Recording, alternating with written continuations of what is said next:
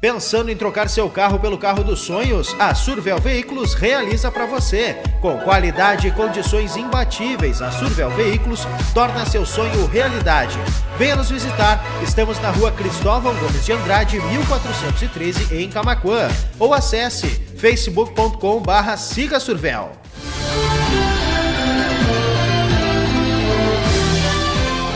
Então, na sexta-feira, agora, a gente recebeu seis policiais civis Todos já estão em atividade desde a sexta-feira aqui na delegacia. Inclusive, a gente já começou a atuar no regime de sobreaviso para o atendimento de ocorrências apresentadas pela Brigada Militar depois das seis da tarde e durante os finais de semana, o que antigamente era apresentado em Camacuã. Né? O nosso atendimento à população ele permanece igual, como sempre foi.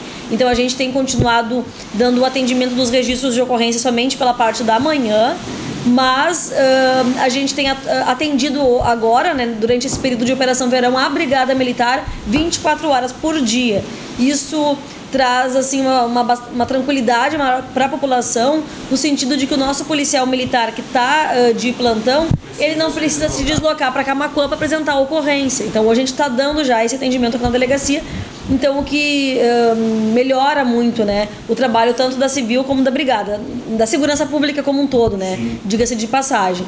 Um, fora isso, esses policiais eles também atuam né, na realização de inquéritos policiais, investigações, o que também nos dá uma vazão e uma tranquilidade bastante grande no sentido de agilizar alguns procedimentos que a gente tinha né, já parados, enfim, há mais tempo em andamento na delegacia.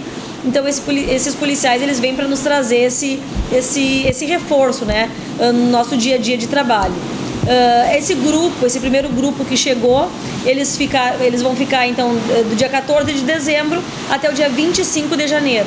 Momento, oportunidade em que a gente vai receber um novo grupo de policiais que vão ficar então até o início de março. Bom, uh, nós estamos chegando a um pouco mais que uma semana, 10, 10, menos de 15 dias do fechando o ano. Qual é a avaliação que a senhora faz do trabalho da Polícia Civil nesse 2018 em TAPS? E região, né? A gente, sim, a gente ainda não fechou o ano, a gente ainda tem alguns dias, né, para finalizar. Uh, então, né, ainda alguma coisa ainda pode ser feita, mas uh, eu, eu, considero que esse ano foi bastante positivo. Eu acho que o marco da, do trabalho da, da Polícia Civil e também da Brigada Militar justamente foi a integração, né? Foi um ano em que a gente teve muita proximidade uh, nas nossas atuações, o que acabou justamente suprindo um pouco essa falta, né, de efetivo. Então, eu acho que foi um ano assim que a gente tem bastante a agradecer nesse sentido. A gente não teve muitos crimes graves também, né, o que é bastante positivo.